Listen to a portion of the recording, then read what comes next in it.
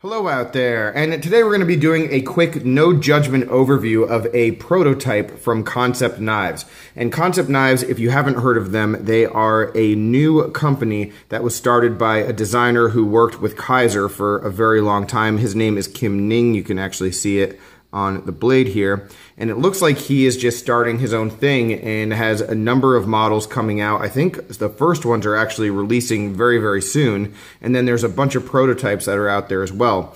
This is one of them, and this one I have to thank my buddy Carlos from Daily Carry Solutions for. He actually added this to the Give a Knife, Take a Knife pass around, which is currently headed to Jack Farmboy. And so this will be an option for someone to take and keep and add to their collection, which is especially crazy because this prototype is one that I haven't seen anywhere else or in any catalog. It's different from anything else I've seen from Kansept Knives, which is also part of the reason why this is going to be a no judgment kind of overview because I don't know if this is a like very early kind of prototype and, and something that was maybe a sample and the design was adjusted and then scratched or if this is an advanced prototype that we might eventually see. You know, I, I don't know exactly what the future is with this model.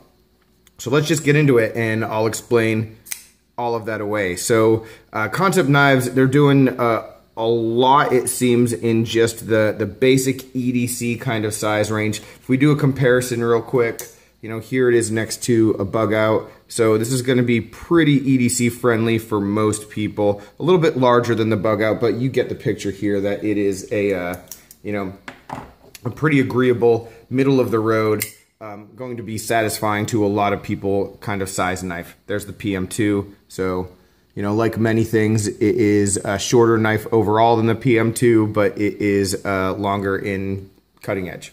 Um, but the thing that makes this one unique, so this is called the Warrior. Right, and you can see it says Warrior right here.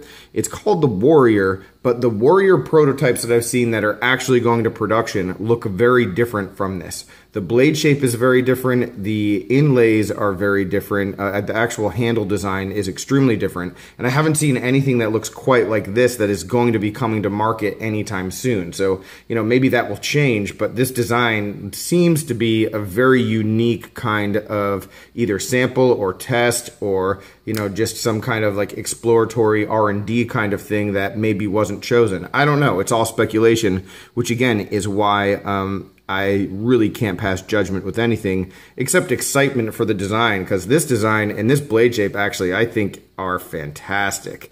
You know, I really love this kind of shape that comes to the, the point like this, but a little more belly. You know, if you think about some of the models and excuse me, I might try to reach into my drawer and see if I have one right here.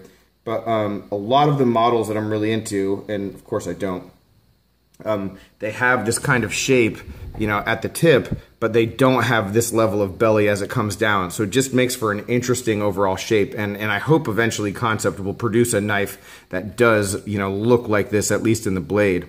Um, some other interesting design characteristics is the way that the jimping is done. But the big thing I really like is this inlay the inlay of the burlap. I mean, again, no judgment here uh, as far as the execution of it goes because maybe they were just slapping something together. But uh, that said, it does look pretty darn clean. And there is some contouring and curvature here that you can't see that well, but it's definitely there. And the fact that, you know, this is so nice and flush and finished so well and, you know, connecting really well with this frame, which has, there you can see that orange peel.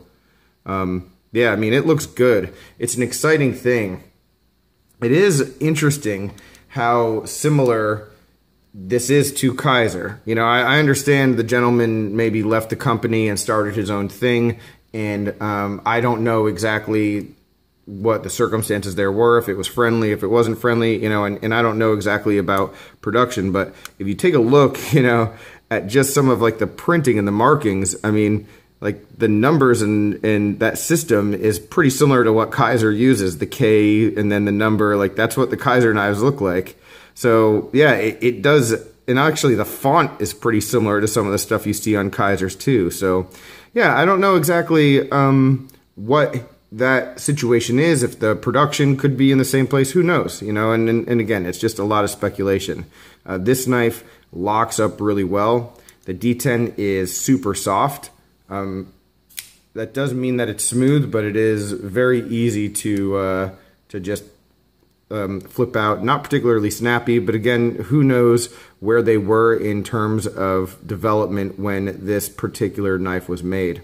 So, yeah, I'm not going to go too much further into it. I will just uh, wrap things up, maybe give you a few minutes and closer looks at things as I rotate around and show you what we have. Um, I'm sure already at this point I've inserted some pictures of the other Kansept knife models that are out there and especially the Warrior design of how it actually is going to be. So you have that information, but definitely check out, excuse me, definitely check out Kansept Knives, their website, and see what's going on because this seems like a, uh, a company that might be legitimate and for real and could compete with some of those Kizers and Bestechs and even WEs of the world in terms of getting good new models out there hopefully at a reasonable price. All right, so like I said, just a few more seconds of uh, showing off the knife, and uh, that'll be that, guys. So thanks very much for watching. Take care, and I will talk with you soon. Have a good one.